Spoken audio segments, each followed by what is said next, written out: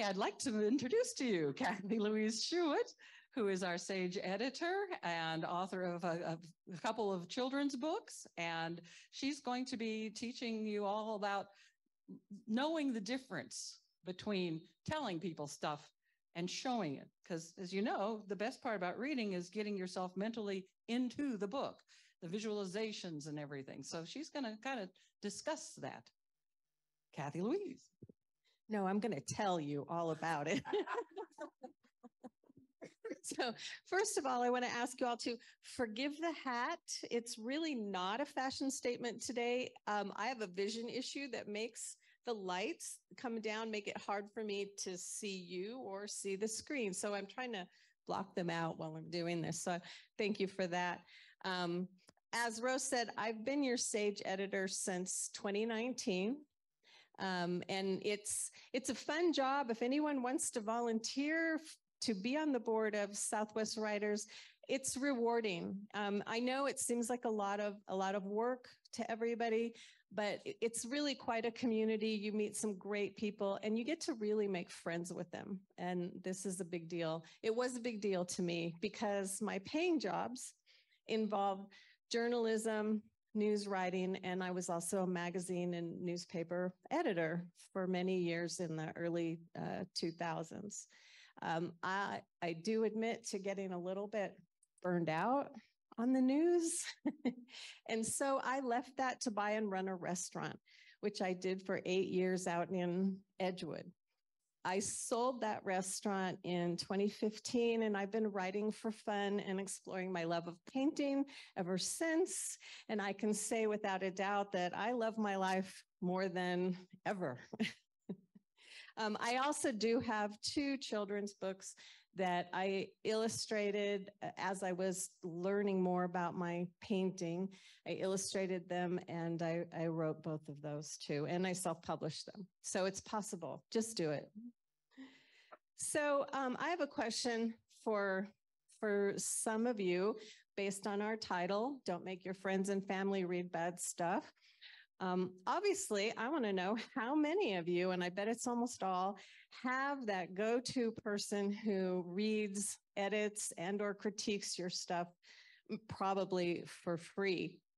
Um, maybe you have an I'll show you mine if you show me yours kind of exchange with them because those are common too. So seriously, how many of you who are in the room have have that kind of a relationship?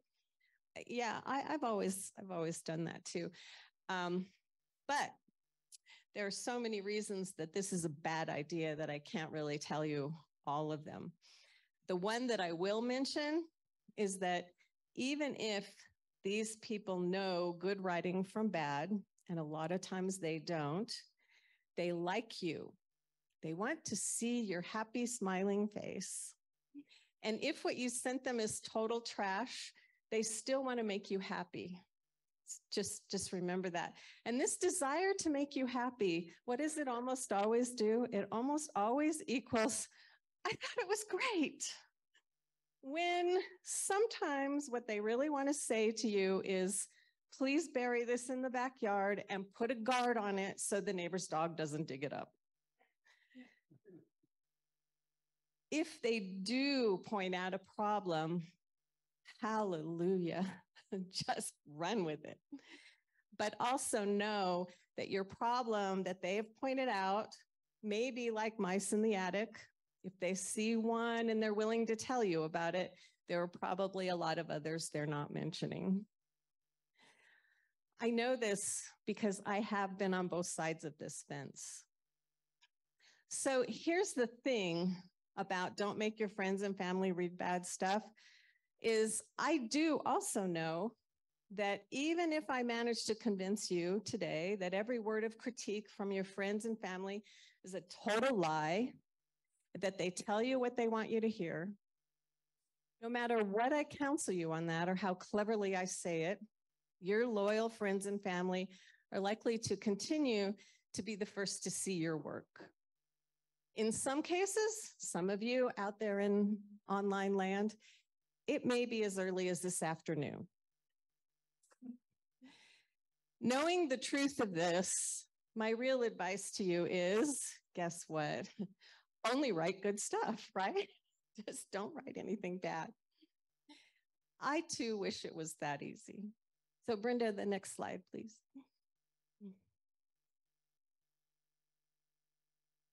So, one of the one of the ways that I've found to improve your writing really quickly is to figure out the difference between showing and telling. Like many of you, I've attended dozens of Southwest Writers meetings. I've listened to all those speakers and I've taken notes on most of them. And I would say that nearly two thirds of the speakers we've heard here in the past five years have said that to make your writing better, you need to show, don't tell. And you know what happens after that? These comments on the middle of the screen. Invariably, I'll be sitting in the audience and someone in the crowd will whisper something along the lines of, That's great, but how do I know the difference? That's why I've decided that the best thing I can do to help out your friends and family, and you, of course, is to point out a few easy ways you can identify showing and telling in your own writing. First, a couple of clarifications disclaimers, if you will. These Southwest Writers speakers are seasoned writers. Believe me, showing is second nature to them. And a lot of them who come here and tell you that they can just whip out a first draft um, and, and sell it, it's because they've done it so many times that they, they absolutely know what they're doing. But it also means that it's easy for them to say, oh, just show, don't tell they honestly don't know how to break it down for you anymore. So that's what I'm going to try to attempt to do is to break it down. The second part of my disclaimer is to make sure that you understand that neither showing nor telling is inherently bad. they are both useful writer's tools. Good writing happens when the writer has certainty of when you're using one and or the other so that you can wield those tools like those experts. Since it's telling that typically causes the wheels to fall off the Lexus, it's typically telling that gets targeted for heavy editing. And my third part of the disclaimer is something that I say every time I talk to Southwest writers is before you write anything, make sure you've identified who you're writing for. This is really more important than people give it credit for. In the days of old, there's my old storyteller, you had to learn to hold the attention of a live audience. Even friends and family could literally walk away anytime they weren't engaged by the story. Think of how that must have made some storytellers feel. And think about how that real time learning of what their audience didn't want improved their stories. Learn about your audience and write for your audience. And then imagine and visualize your people, your fans, and yes, your friends and family. These people deserve the best you can offer them, not what needs to be buried in the backyard. Mm-hmm. Next slide, Brenda. So my first piece of advice to you is for first drafts, and it was Anne, I think she she's gone now, but she said that she had completed a first draft. Way to go. um, just get those first drafts written. Um, how many, again, let's put our hands up. How many of you are writing a first draft right now? That's great. That's really encouraging. All right, but now we get to the downside. How many have been working on that draft for more than six months? Uh huh. I know this. My first child's book, children's book, I had it for 20 years before I actually published it. So, you know. Anybody here who's been working on it for longer than a year? Uh huh. Okay. You all just need to write those first drafts Get them off your plate, get them written, get them written any way you like. Here at Southwest Writers, a lot of um, speakers, another thing they like to tell you, it, they like to get into this discussion of whether you're a writer by the seat of your pants or whether you're a writer who plots things. Personally, I've started to kind of find it a little annoying because I don't really think it matters. It doesn't matter how you write your first draft. The main thing is just write it. Uh, for sure, that first draft is going to be filled with uh, grammatical errors, verb disagreements, time and space issues. These are my favorite things to edit when you send in your challenge stories, by the way. um, there's going to be characters who may be eliminated because they serve no real purpose. Again, I'm going to just reiterate none of this matters in your first draft. In your first draft, you should just enjoy discovering your process of writing, your passion for writing, and simply participating in the ancient act of creation. Just do it. Finishing a first draft should be a great cause for celebration. Have a drink, but it is not a cause for sharing. no, no, no, no, no. Don't share your first drafts with anyone. And you know why? Because the most excellent first drafts contain heaps of your own guts spilled onto the page. And these are truly, and I'm not kidding here, they're truly too raw for public viewing. Okay. You can't handle what people are going to say about it, for one thing. So you don't let them. Instead of showing off your first draft, set it aside for a couple weeks, tie it up with a ribbon, make it special, and then take it out again and start on your second draft. Besides improving your story each time you edit through it, any draft after your first is also a test of your commitment to the story. Truly serious writers will journey from the thrill of the first draft through the drudgery or even third, fourth, fifth drafts if necessary. Now, some of my favorite Southwest writer speakers are the ones who are honest about how many drafts it takes to perfect even a short story that your friends, family, editors, and publishers will be thrilled to read. We had one speaker here who said that he routinely writes 16 drafts. I loved him.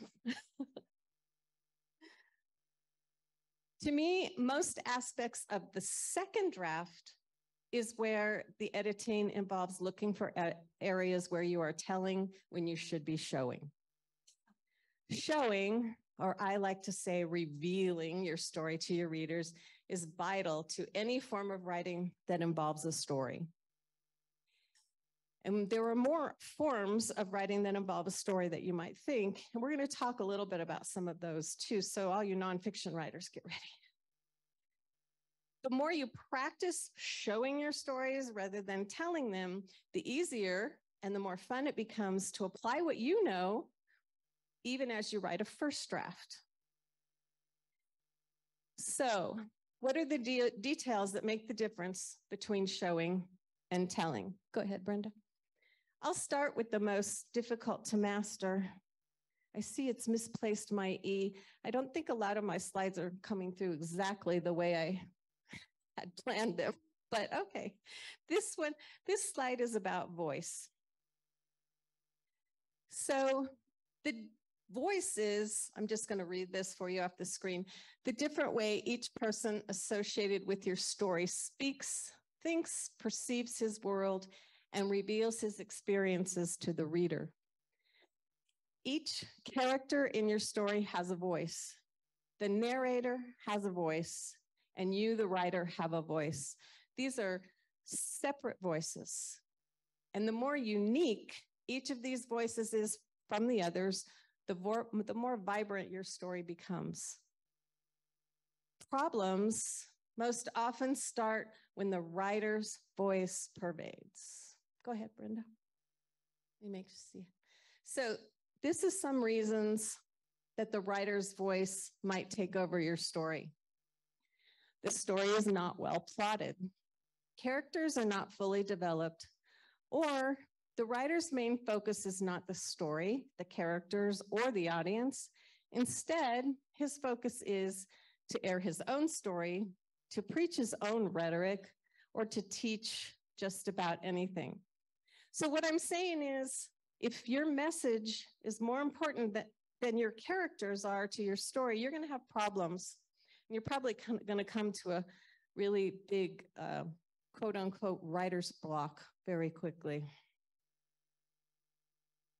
The first two of these bullets seem really obvious, and you can tell that I really want to get into that third bullet. so we're just going to go right in. And the reason is because writers often don't realize that their story has devolved into what I call screeching, preaching, and teaching. And this happens a lot. and if after some soul searching, which I advise you all to do, especially if you're stopped and especially if you feel like you want, you definitely have a message that you want to convey. If you realize that your story isn't working because you're trying so hard to construct it around what should rightly be a commentary, a letter to the editor, or maybe a manifesto, then be honest with yourself chuck that first story draft in the trash right now and write what you want to say to the people who you want to say it to. But if you're determined to write a good story, just remember the story cannot take a backseat to a message because the message alone is first class telling and you'll be in trouble. Writers who successfully impart a message are those who create characters and imbue them with their own passion and allow the characters to live through their story events in order to show the message rather than preach it. Let your characters show why anyone or everyone should have an emotional response to your pet issue. Allowing the characters to take over is showing. Showing is the best form of teaching possible, but it's a craft. And we all know it takes a lot more time than writing a letter to the editor. Once you've decided to trust your characters to show your story, you're starting to set yourself up for entering the elusive and magical zone. This is where characters are taking off on, on, on all their adventures and you, the writer, are barely hanging on to a thread of their flying carpet. We all kind of live for this experience as writers. But that can never happen if your voice is bigger than your character's voices. And if you are so focused on conveying a message that you can't allow your characters to have their own opinions. Creating strong characters and allowing them to carry their story is why so many speakers come to Southwest Writers with hints and tips and character outlines under their arm. They want to help you get to know the characters who will live through your plotline of events. A pervasive writer's voice will also tend to make all the characters sound the same. If even a few of them sound the same as you, react like you would, and make decisions that you would make, without a doubt, you're telling, not showing. If you write memoir, keep in mind that the voice of you yesterday is not the voice of you today. At any moment in the past, you were a different person experiencing things that are memories now, but which were real events connected to real emotions back in the day. For the purposes of your memoir story, it pays to remember that past you is a character in your story with a voice of her own. Now you might also be a character, a different character with her own distinctive voice. And writer you is a separate voice from both of them. The more distinction, again, that you can manage between these voices, the richer your memoir will become. But without distinctive voices, memoir devolves into recounting. And guess what? Recounting is telling. Go ahead, Brenda. Thank you. All right. There are a few other forms of nonfiction writing that have come into really wide use now. The book cover that you see there is my well worn copy of Jon Franklin's Writing for Story. Jon Franklin was a um, writer in the in the 1970s, and he a lot of people think that he is the actual first person to really come up with creative nonfiction. Um, some uh, we've had a couple speakers in here actually in the last couple of months who have also brought up Jon Franklin because for me, I've been using him as my go-to writer guide since the 1990s um, because he really tells you how to pump up the action in nonfiction. Uh, I'm going to just read you a couple paragraphs from his Pulitzer Prize winning story. He wrote he, he won two Pulitzer Prizes, and this is the first one that was the first Pulitzer given for creative nonfiction. It's called Mrs. Kelly's Monster. In the cold hours of a winter morning, Dr. Thomas Barbee Ducker, chief brain surgeon at the University of Maryland Hospital, rises before dawn. His wife serves him waffles, but no coffee. Coffee makes his hands shake. In downtown Baltimore, on the 12th floor of University Hospital, Edna Kelly's husband tells her goodbye. For 57 years, Mrs. Kelly shared her skull with the monster. No more. Today she is frightened but determined. It is 6:30 a.m. I'm not afraid to die, she said as the day approached. I'm going to leave you there. Jon, Jon, Franklin showed what was possible using a combination of news facts infused with actual human emotion. Creative nonfiction in itself doesn't allow your creativity to stretch into the territory of making things up. If he, if Jon Franklin includes dialogue in this story, which he did there, where she said, I'm not afraid to die. And if you read the whole thing, then she goes on to a very long, actually, um, quote. But because he's writing nonfiction, his quotes must be accurate, or he will be called to task for that. So just know that um, if you're writing anything now, memoir doesn't necessarily have those rules. Memoir, um, you know, unless you're writing about some well-known person or you're writing about someone in your life who may be upset by what you say they said when they didn't say it, you you have a lot of latitude. If you're writing about a fishing excursion with your uncle Ben, you can pretty much take certain things that happened in your mind and turn them into dialogue you're not going to have any problem with that. No one's going to check those those facts and you shouldn't worry about them with memoir. Okay the next one brenda. Another group of people that has really run with the whole creative nonfiction thing are biographers and you can see i hope you can see up there um, I've got David McCullough, Laura Hillenbrand, which she wrote Unbroken, Sylvia Nasar, who wrote A Beautiful Mind, and Ron Chernow, whose book, whose cover is up there of Alexander Hamilton. You may or may not know that he, that this book inspired um, the whole Hamilton rage that's going on right now, or has been for a couple years. These are just a few examples of biographers who took the idea of writing about a biographical subject and through their skills with creative nonfiction, they were able to take it deeper than the traditional study and recording of historical facts would have otherwise allowed them. Because of these creative nonfiction biographers and their extensive research, the reader gets to enter and experience the past from a point of view much closer than ever before to that of the subject human who lived and died before we were even born. I'm just going to give you a quick example of David McCullough's biography, and I'm going to read a couple paragraphs from John Adams. And I'm assuming that we all know that Abigail was John Adams' wife as I go on here. Then on July 16th came a letter from Abigail's uncle, Isaac Smith, reporting that Abigail, acting on her own, had decided that she and the children must be inoculated for smallpox. They had come to Boston to undergo the treatment. Smith himself having provided his large house on Court Street for their time of isolation. Adams was beside himself.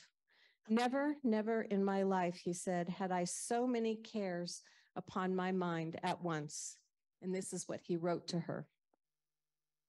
There are a couple things that I want to point out in these paragraphs.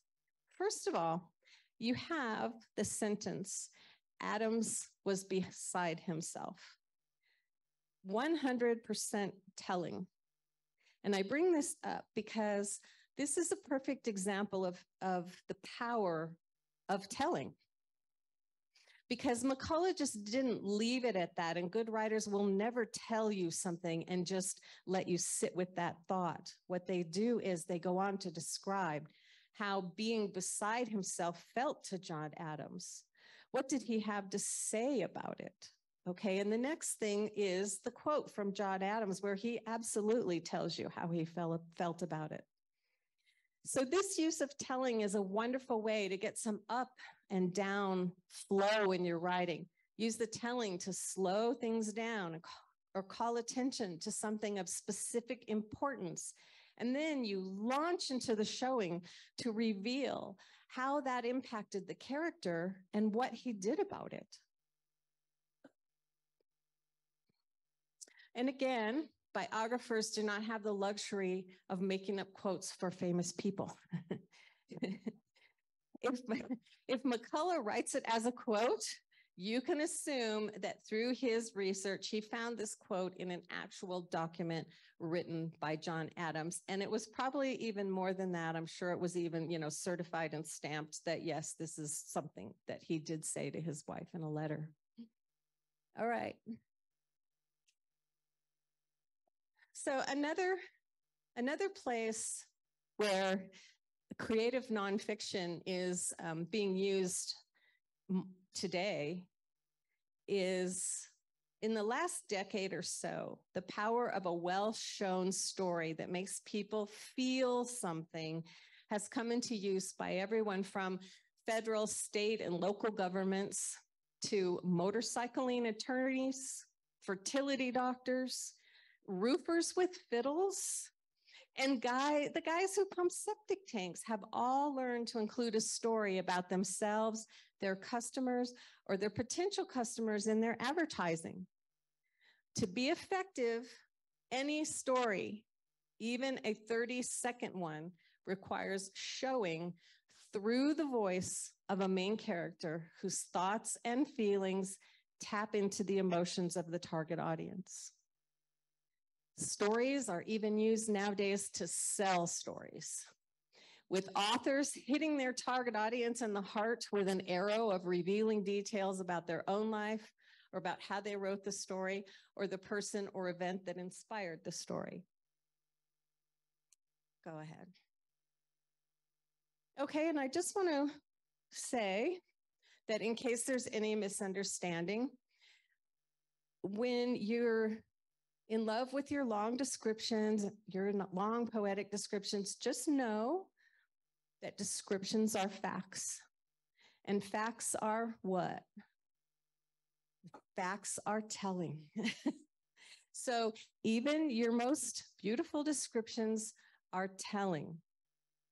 Narrating facts and descriptions is the purest and most commonly used form of telling. But it is telling that is often needed.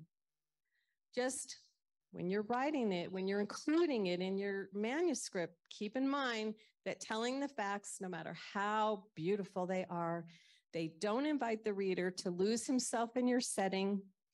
They don't allow your character to tell his own story through his own eyes and with his voice. Here's an example.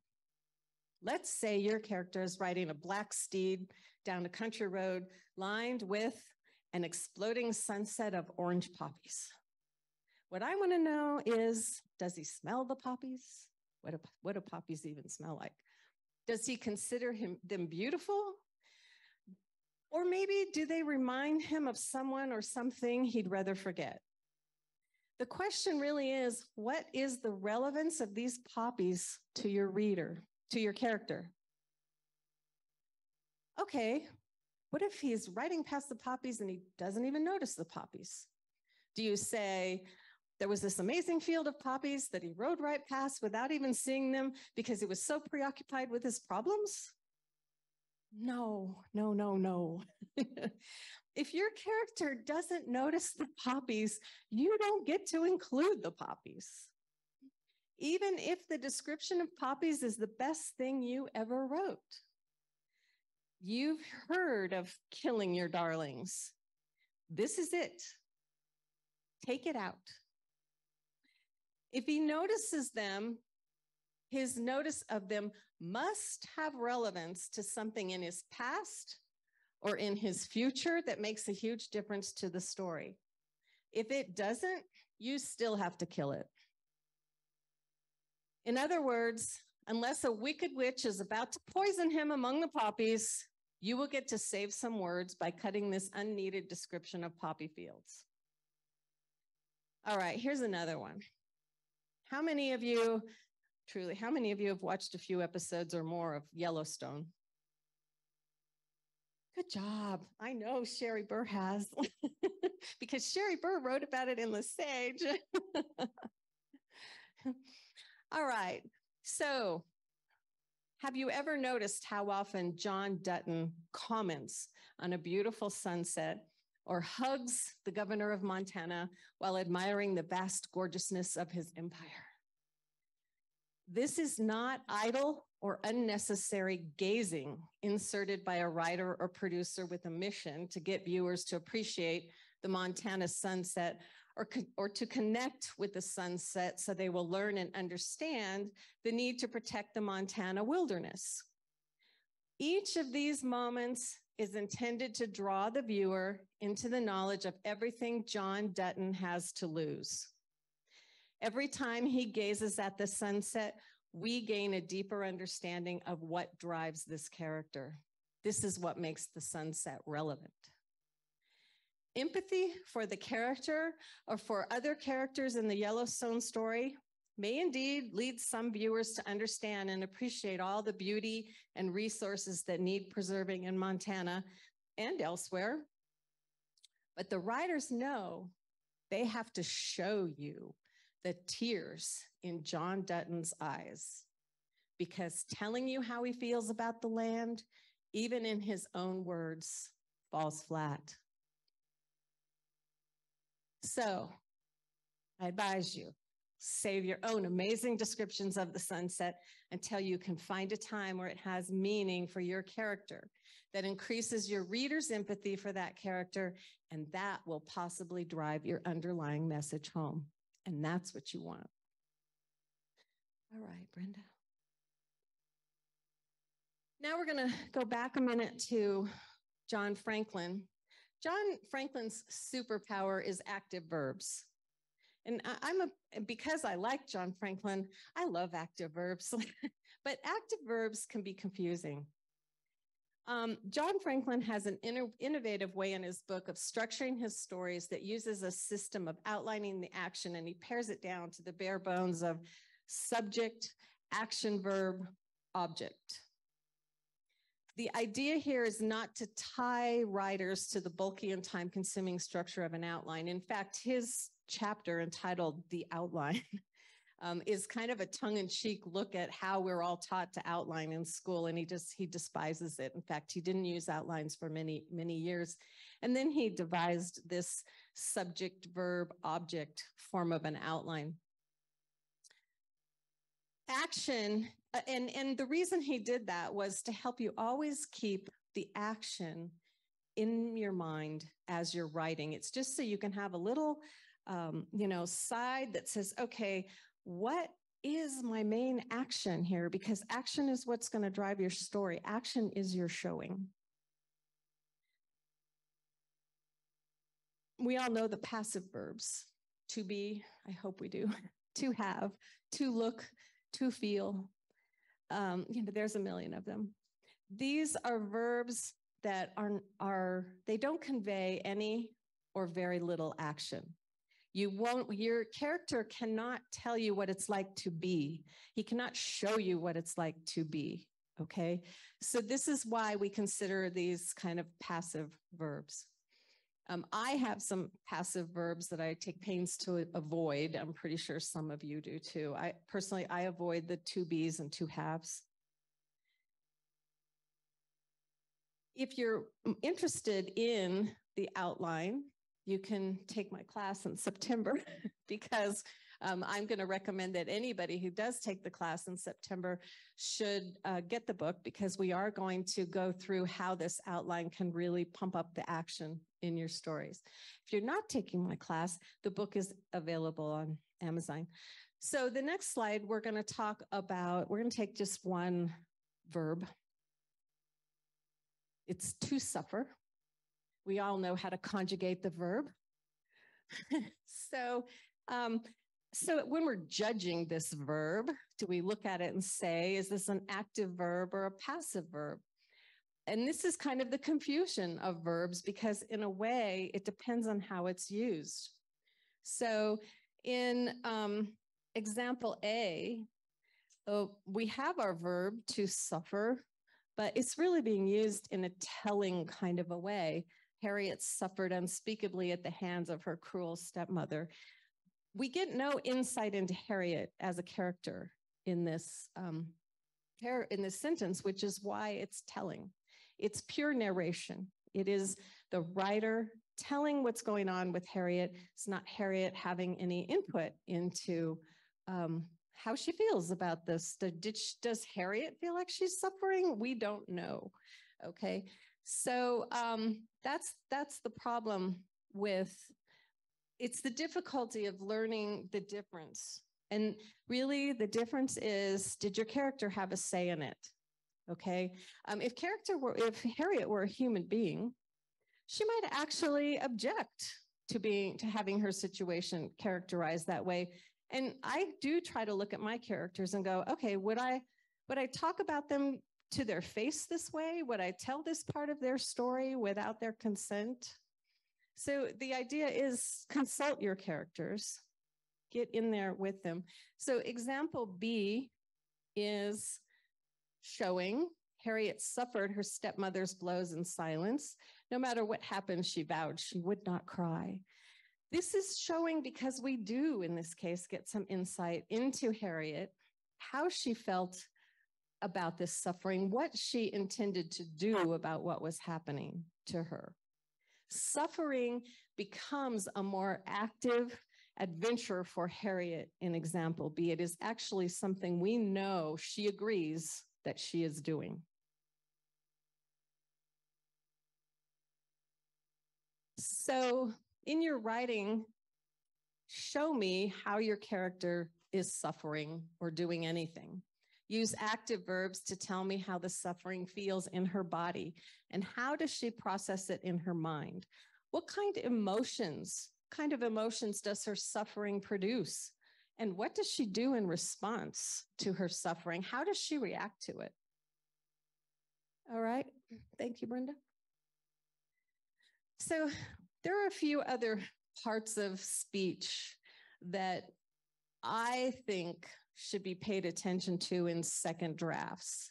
And um, honestly, commas, periods, misplaced prepositions, they're, they're not among them. So we're not going to be talking about those right now because to me, those are fourth or later issues. And part of that reason is because you're still in your second draft. If you start paying attention to periods and commas and all of that minutia, what happens when you spent so much time and then you decide to just X out a whole page? And you've spent all this time editing all your comments, commas and periods.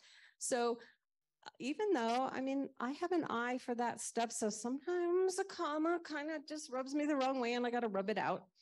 And I will do that. But I don't make it my mission in the second draft to deal with that stuff. What I do make it my mission to deal with is, go ahead, Brenda, is adverbs. Adverbs are those pesky modifiers that many writers think are totally adding punch to their sentences. Generally, they don't. Actually, most adverbs have exactly the opposite effect. They slowly drain the very life from your story. One of the easiest ways, I think, to edit a first draft into something that is at least beginning to show is to highlight all your adverbs and then go back and try to rewrite all of those sentences using active verbs. This will result in more specific and active descriptions, actions, emotions, and events. Besides the ly family of adverbs, which I assume you're all somewhat familiar with, other overused adverb favorites include very, even, like they couldn't even speak, and quite. Do yourself a favor, draw a line for them wherever they occur. You rarely, if ever, need them unless you have a character who uses them as a pattern in their speech. All right, on the next slide. All right. The next slide is metaphors, similes, and analogies. Metaphor is poetically saying something is something else. Simile is saying something is like something else. Analogy is saying something is like something else to make an explanatory point. You can use metaphors and similes when creating an analogy. To be successful, these metaphorical forms must be relevant to your story and they must be rooted in memories of things your readers should be familiar with. So if you're writing sci fi fantasy and that's your audience, and you say, Clyde was James T. Kirk disappearing on a photon stream, you can expect this sci fi fantasy audience to understand that reference, to get that metaphor. Many successful novelists, songwriters, and playwrights have a knack for seeing the world in simile and metaphor. I recently was listening to a, a uh, TED Radio Hour interview with Rosanne Cash. And she is also, uh, besides her father, she's also in her own right a very famous and accomplished musician. And she talked about the very first time she understood the concept of metaphor. And you could even see on her face that this was a truly enlightening moment for her because she finally got the power of metaphor. And make no mistake, metaphor and simile, once you've mastered them, they're one of the most powerful tools you can use in any form of writing. And the reason is because they're based in the memory of your reader. You can only get a metaphor if it means something to you, if it sparks a memory in you as the reader. Rosanne Cash said that from the very that very first moment, metaphors excited her, and she started looking around for them. Um, her first metaphor, she wrote it down like a little kid. She wrote it down, and um, she didn't even use it for 12 years. So it, it was 12 years before she actually put that metaphor in a song. I thought that was pretty, it was a lot of waiting. But I advise all of you to get excited about similes and metaphors. Actually, for this talk, I wanted to, I had planned to include music as part of this uh, because I, I listen to a lot of different kinds of, of music and some old music, some new music. But songwriters in general are those lucky kinds of people who do kind of see the world in metaphor. So one of one of the metaphors that I thought of when I was thinking about this talk was so you have Neil Diamond, the old crooner who we all know and many of us were in love with. And when he has a uh, a line about a sexual invitation, what does he say? He says, "Play me." Okay, today is a different audience. It's a completely different audience. And now we have Bishop Briggs, who just came out from under a costume on a show called, what is it called? It's the one where they wear the costumes and they sing like the Masked Singer. She just won it. She just she just won this, and I didn't even know. it, But she's been one of my favorites for for many years because of her great metaphors that she used in her songs. So so when she talks about a sexual invitation, what does she say? she's a she's a new age tattooed kind of strong girl, and she says, "Shut your mouth and run me like a river." so this is speaking to two different, two completely different audiences. And, and I love that, that difference. And yet both are strong. How many of us, I mean, we can sing a lot of the lyrics to Play Me because we were his audience and we loved him. And that's why. so there are ways, and I've done this, there are ways to train your mind to explain the world that you see in metaphor.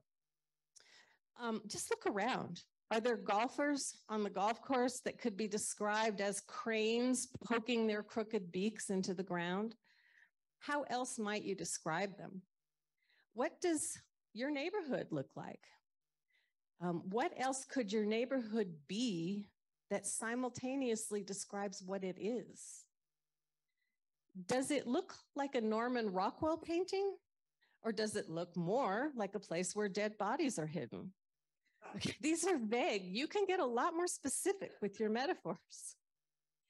Practice making metaphors in your head all the time. I'm going to tell you, making metaphors can be a great substitute to inventing lives for strangers in restaurants. And I know you all do that.